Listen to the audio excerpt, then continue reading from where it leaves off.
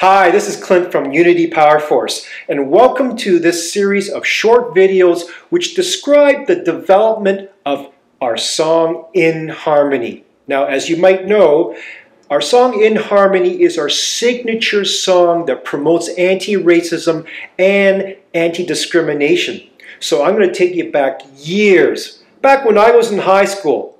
And back then, I discovered these interesting chords.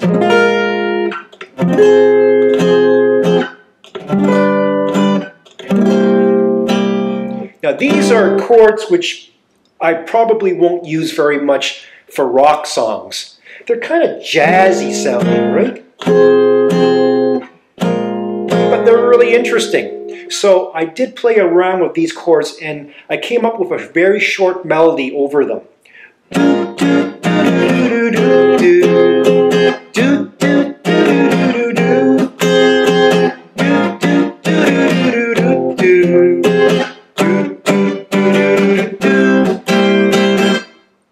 And that's as far as I got.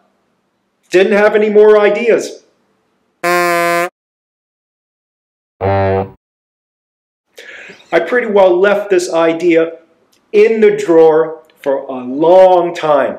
Actually, decades.